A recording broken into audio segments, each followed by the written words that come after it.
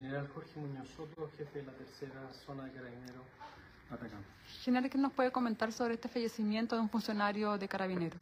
Bueno, eh, acabo, acabo de llegar, estaba desplegado en terreno, eh, un hecho lamentable que nos tiene consternados como carabineros, especialmente aquí en esta zona.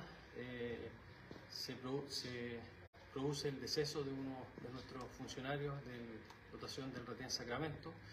Es un destacamento que está distante eh, a 60 kilómetros de, de la localidad de Copiapó y por circunstancias cierto que van a ser también materias de investigación, aunque los primeros indicios nos señalan que se trataría de un lamentable accidente donde se ocasiona un disparo al interior del cuartel en una, en una manipulación del armamento, eh, lamentablemente eh, con el deceso de uno de los funcionarios de este retén, se trata del cabo segundo Hugo eh, Duque Catri, Catricheo.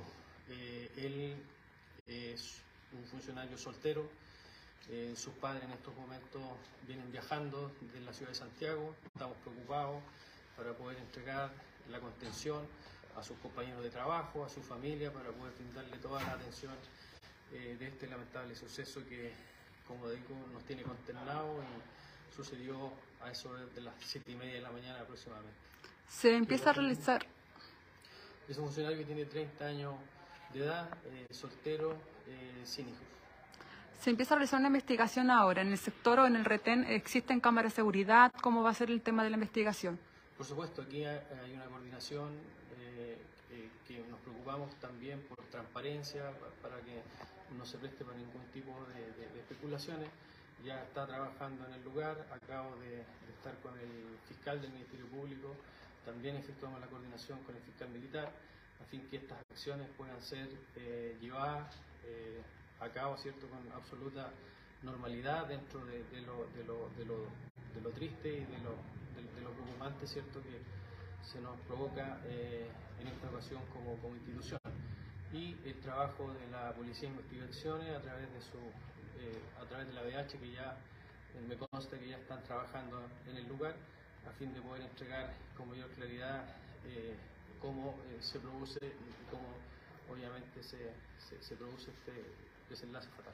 ¿El cabo cuántos años servicio tenía cuando ingresó al, a la- al retén o a, a carabineros? Bueno, él era, hizo su curso de formación en el ICA, eh, ingresó el año 2017, seis años solamente tenía, era un joven carabinero, eh, lo conocí personalmente, un excelente funcionario, eh, tres felicitaciones en su hoja de vida, lo que da cuenta de, la calidad de funcionario eh, que hoy día perdemos y como le digo, hoy día estamos abocados a poder entregarle esta contención a la familia y a sus camaradas de armas que hoy día sienten su, su partida.